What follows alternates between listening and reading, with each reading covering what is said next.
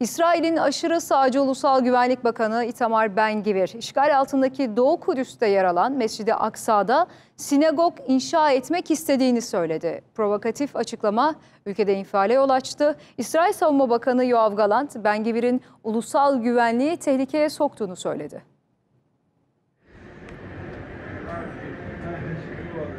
İsrail'in aşırı sağcı Ulusal Güvenlik Bakanı Itamar Ben-Gvir provokatif açıklamalarına yenisini ekledi. İsrail Ordu Radyosu'na konuşan Ben-Gvir, mevcut politikanın Yahudilerin Mescid-i Aksa'da ibadet etmesine izin verdiğini ileri sürdü. Mescid-i Aksa'ya sinagog inşa eder misiniz sorusuna ise evet yanıtını verdi.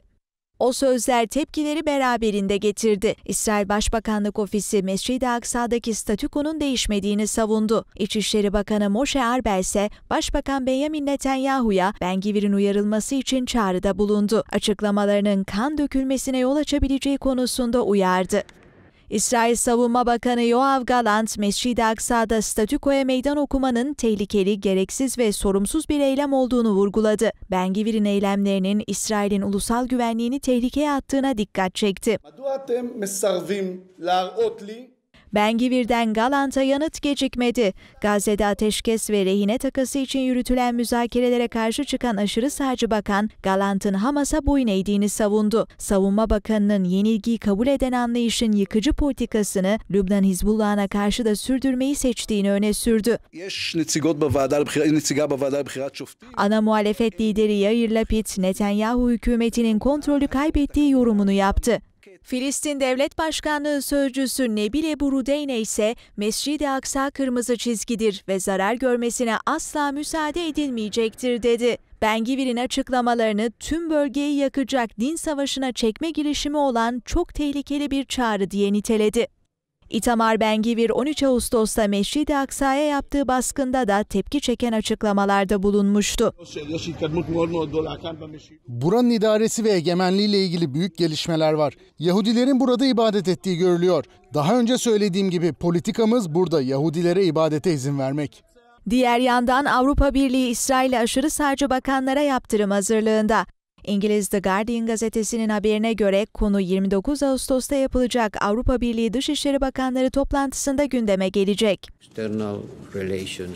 Avrupa Birliği Dış Politika ve Yüksek Temsilcisi Joseph Borrell, Gazze'ye insani yardımların kesilmesini ve sivillerin kasıtlı olarak aç bırakılmasını savunan Ben-Gvir ve Maliye Bakanı Bezalel Smotrich'e yaptırım uygulanması için çağrıda bulunacak.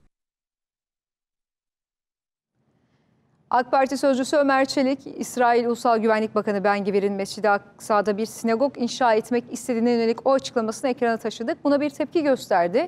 Mescid-i Aksa mukaddes değerimiz, göz bebeğimiz ve kırmızı çizgimizdir dedi. Hemen Ömer Çelik'in o açıklamasının detaylarını paylaşalım sizlerle. Çelik sosyal medya hesabından yaptı bu açıklamayı. Netanyahu şebekesinin üyeleri camilerin ve kiliselerinde düşmanıdır. Bu şebeke bölge barışını dinamitlemek üzere her gün yeni bir provokasyona imza atıyor. Bunlar kendilerini hukuk önünde hesap vermekten kurtarmak için tüm bölgeyi din savaşlarına sürüklemeye çalışan soykırım ve katliam şebekesidir dedi.